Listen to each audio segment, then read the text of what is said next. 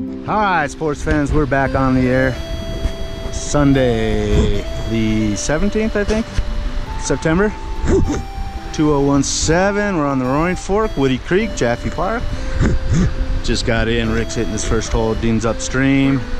Flow at about 106, I think, is what they were saying on some of the reports. Definitely a lot skinnier than we got here. Again, I don't have my thermometer, I don't know where it is. Baetis will probably be in play.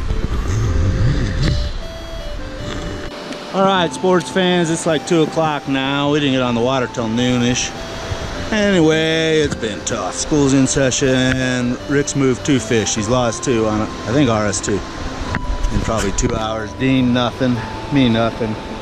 I switch around. We all started with like stonefly and different Baetis. We had two-bit hooker, RS2. Or, uh, uh,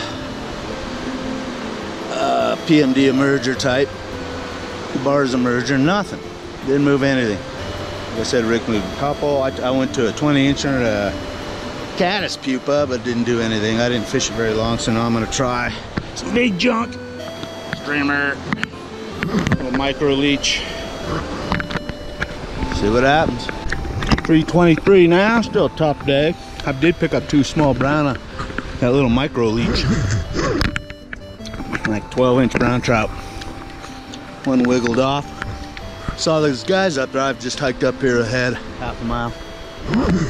There's the big uh, overpass bridge, Highway 82.